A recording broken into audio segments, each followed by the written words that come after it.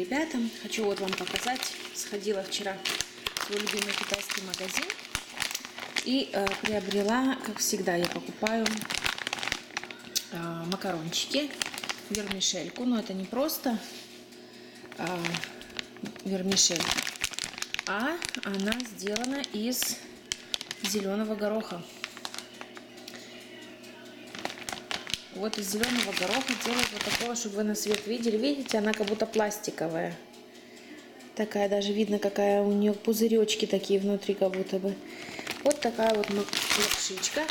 Было 2 на 2,50 э, sweet potato вермишель, да, то есть это из бататы, из э, сладкой картошки.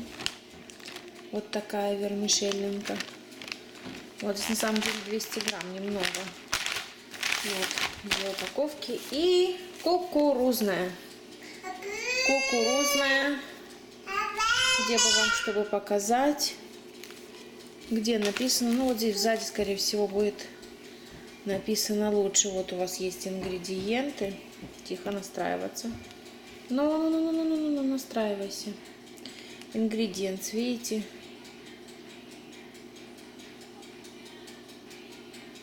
Есть, есть и обычная мука, и вода, и кукурузная пудра, соль, и, в общем, еще какие-то фигни, и содиум, содиум даже есть. В общем, короче, вот так, вот так она выглядит, как палочки такие. Вот так она сложена.